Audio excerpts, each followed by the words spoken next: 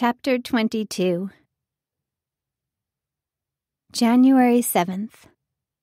Dear Scott, How are you? My name is Susanna Peters. Buck, the mobilization director from Kingdom Builders, forwarded your email address to me. I hope you don't mind my taking the liberty to write you. My heart's desire is to serve God internationally. When I first heard God's call to missions, I kept expecting and asking Him to tell me where I was supposed to go. But the more I kept praying, the more I realized there wasn't one specific area of the earth I felt more called to than any other. The season of harvest is now, but the harvest is everywhere. That's why I was so excited to learn about the Kingdom Builders ministry.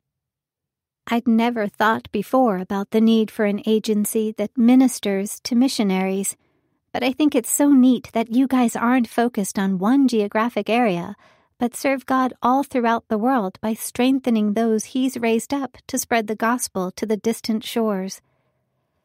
I looked up some information about the Kingdom Builders Summer Internship Program.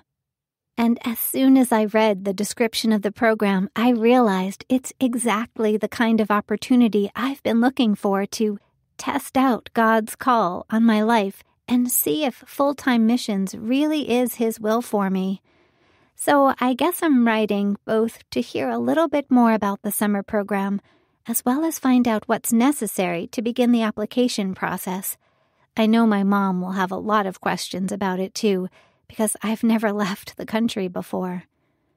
I suppose that's it, but I do want to let you know again how excited I am about the work Kingdom Builders is doing to bring God's glory to the nations.